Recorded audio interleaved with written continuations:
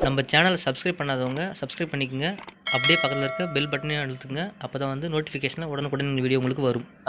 எல்லோருக்கும் வணக்கம். இன்றைக்கி இன்னைக்கு நம்ம வந்து இந்த வீடியோவில் எதை பற்றி பார்க்க போகிறோம் அப்படின்னு பார்த்தீங்கன்னா கோழி கொண்ட பூ வச்சு எப்படி லாபம் சம்பாதிக்கலாம் அப்படிங்கிறத பற்றி பார்க்க போகிறோம் கோழி கொண்ட இந்த பூ பற்றி பார்த்தீங்கன்னா இது வந்து ஒரு மூணு மாதத்து பயிர் தான். இது எப்படி வைக்கணும் அப்படிங்கிறத வந்து விவசாயிகள்கிட்ட வந்து நான் நிறைய ஆலோசனை பண்ணேன். அது மட்டும் இல்லாமல் நிறைய சர்ச் பண்ணி எடுத்திருக்கேன். அதுவும் இல்லாமல் இது வந்து நம்ம மாமாவோட காடு தான். இங்கே வந்து பார்த்தீங்கன்னா ஒரு ஒரு அஞ்சு வீசத்துக்கு வச்சிருக்கோம்னு வச்சுக்கோங்களேன். நீங்கள் ஒரு ஏக்கருக்கு வச்சா எவ்வளோ வைக்கணும் அப்படிங்கிறத நான் தெளிவாக சொல்கிறேன் ஒரு ஏக்கருக்கு வந்து கோழி கொண்ட பூ வைக்கணும் அப்படின்னு வந்து பாத்தீங்கன்னா ஒரு இரநூறு கிராம் கோழி கொண்ட விதை வந்து தேவைப்படும். இந்த விதை வந்து கருப்பு கலர்ல இருக்கும்.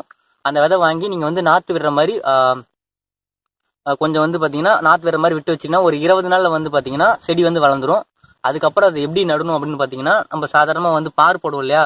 இது மாதிரி பார் போட்டுட்டு ஒரு ஒன்றரை அடி தூரத்துல வந்து நட்டோம்னா போதும். ஒரு நாற்பத்தஞ்சு நாள் கழிச்சு வந்து பார்த்தீங்கன்னா பூ வந்து பூக்க ஆரம்பிச்சிரும். அதுக்கப்புறம் ஒரு ஒன்றரை மாசத்துல இருந்து மூணு மாசம் வரைக்கும் பூ பூத்து கொடுத்துக்கிட்டே இருக்கும்.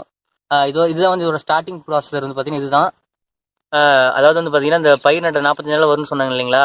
இதில் வந்து என்ன முக்கியம் அப்படின்னு பார்த்தீங்கன்னா வந்து மூணுல இருந்து நாலு நாளைக்கு ஒரு தடி வந்து தண்ணி கட்டிக்கிட்டே இருக்கணும் இந்த செடிக்கு பார்த்தீங்கன்னா அப்பதான் வந்து செடி வந்து காயாம அது விட்டு வந்து அதோட பலனை கொடுத்துக்கிட்டே இருக்கும். இந்த பூச்செடி பார்த்தீங்கன்னா ஒரு மூணு நாலு ஸ்டேஜ் இருக்கு. பூ பூக்கிறதுக்கு அப்புறம். ஃபர்ஸ்ட் வந்து பார்த்தீங்கன்னா மெல்சாக தான் வரும். அதுக்கு அடுத்த ஸ்டேஜஸ்லாம் பார்த்தீங்கன்னா வர வர வந்து பார்த்தீங்கன்னா இது மாதிரி வந்து பார்த்தீங்கன்னா பெருசாக பூ வந்து வர ஆரம்பிச்சிடும் ஃபர்ஸ்ட் வந்து இப்படி தான் இருக்கும் அதுக்கடுத்து கொஞ்ச நாள் போக போக பார்த்தீங்கன்னா பெருசாக வந்து பூ வந்துக்கிட்டே இருக்கும். அதுக்கப்புறம் பார்த்தீங்கன்னா இது வந்து மூணு மாதத்து பயிர் தான். வருஷத்தில் ஒரு ரெண்டு தடவை மூணு தடவை நீங்கள் வந்து பயிர் வைக்கலாம். இதோட விதை வந்து பார்த்தீங்கன்னா நீங்கள் அறுக்கும் போது கீழே இருக்கு பார்த்தீங்களா இந்த விதை? இதை வந்து பிச்சுட்டு போய் நீங்கள் வந்து வீட்லேயோ எங்கேயோ போயிட்டு கொஞ்சம் உளுத்துனீங்கன்னா போதும். விதைலாம் கீழே விழுந்துரும். அதுக்கப்புறம் பார்த்தீங்கன்னா தண்ணி மேலே தெளிக்கலாம். ஏன்னா பூ வந்து வாடாமல் இருக்கும். அப்போ தான் மார்க்கெட்டில் சேல்ஸ் பண்ணும்போது அதிக ரேட்டுக்கு வந்து இந்த பூ வந்து போகும். இது வந்து பார்த்தீங்கன்னா ரெண்டு ரகமாக இருக்குது ஒன்று பார்த்தீங்கன்னா ரோஸ் கலரில் இருக்கும். இன்னொன்று பார்த்தீங்கன்னா ரெட் கலரில் இருக்கும். ரெட் கலர் பூவும் பார்த்தீங்கன்னா இதிலே இருக்கும். எங்கேயாச்சும் நிறைய இடத்துல இருக்கும்.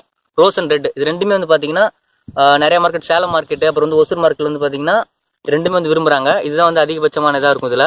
இப்போ வந்து பார்த்தீங்கன்னா மார்க்கெட் இருந்து இப்போ வந்து பார்த்தீங்கன்னா இந்த கோழி கொண்டு வந்து பார்த்தீங்கன்னா ஐம்பது ரூபா போகுது. போன வருஷம் வந்து நூறுரூபா வரைக்கும் போச்சு.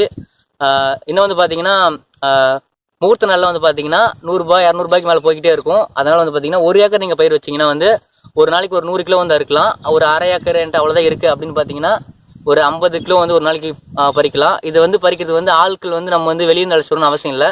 நம்ம வீட்டில் ஒரு மூணு பேர் ஒரு அப்பா அம்மா இல்லையா வந்து வயசானவங்க இறச்சிருப்பாங்க இருப்பாங்க. ஒரு மூணு பேர் இருந்தால் போதும். ஒவ்வொரு நாள் வந்து பூ பறிச்சுட்டு போகலாம் இந்த பூ வந்து நீங்கள் வந்து தனியாக ஒரு வண்டி வச்சுக்கணும் அவசியம் இல்லை. உங்கள் டூ வீலரில் அப்படி இல்லைன்னா நம்ம ஊர்லேருந்து போகிற பஸ்ஸுலாம் நிறையா இருக்கும். நம்ம டவுன் பஸ் அது மாதிரி இருக்கும். அதில் எடுத்து போட்டு கூட போகலாம் பக்கத்தில் இருக்க மார்க்கெட்டில் சேல்ஸ் பண்ணலாம். ஒரு நாளைக்கு ஆவரேஜாக ஐம்பது ரூபாய் பூ விற்றா கூட போதும்.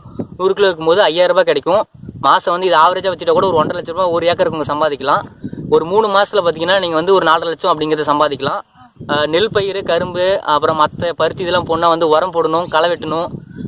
ஆள் கூலி நிறையா இருக்குது பூச்சிக்கொல்லி அடிக்கணும் அதெல்லாம் நிறையா வேலை இருக்குது இதில் ஒன்றும் பூச்சி போட்டு அவ்வளோக்கு வராது. இதில் வாசமும் இல்லை அதனால் வந்து பாம்பு பள்ளி இது மாதிரி எதுவும் அண்டை போகிறதில்ல அதுக்கப்புறம் பார்த்தீங்கன்னா இதில் வந்து ரெண்டே ரெண்டு விஷயம் தான் இருக்கும். ஒன்று வந்து இந்த வெள்ளை பூச்சி ஒன்று இருக்கும் ஒரு பூச்சி ஒன்று இருக்கும் அப்புறம் வெள்ளை புழு ரெண்டு தான் இருக்கும்.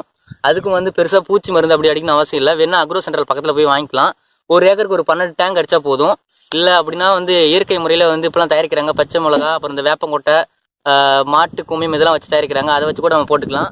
உரம் வேணும்னா வந்து நீங்கள் வந்து போட்டுக்கலாம். இல்லைன்னா வந்து நீங்கள் இயற்கை உரமே இருக்குது அதை கூட நம்ம யூஸ் பண்ணிக்கலாம். அதை பற்றி நான் அடுத்த வீடியோவில் எப்படின்னு சொல்கிறேன் உங்களுக்கு வந்து பார்த்தீங்கன்னா இந்த பூ வாங்கணும் அப்படின்னு பார்த்தீங்கன்னா நான் வந்து மேலே ஒரு லிங்க் கொடுக்குறேன்.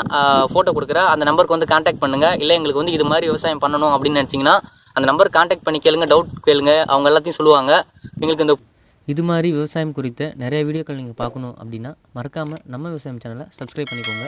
உங்கள் ஃப்ரெண்ட்ஸுகளுக்கும் ஷேர் பண்ணுங்கள் நன்றி வணக்கம்.